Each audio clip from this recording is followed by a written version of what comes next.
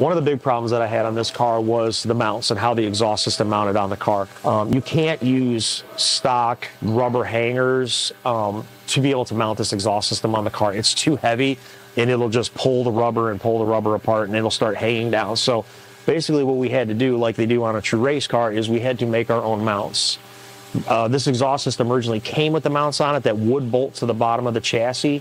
We could not use those as a race car chassis is specifically designed for this to be slammed up against it. Well, we're fighting body lines, panels under the car. So what I had to do was cut the NASCAR ones off and basically remake all the hangers. And um, it was kind of nice on the bottom of this car because we found uh, different mounting points under the car that were already available to us. So we fabricated those up. We're able to hang this exhaust system. Easy, but time consuming. Um, that was probably the biggest obstacle that we overcame that we thought was going to be a problem.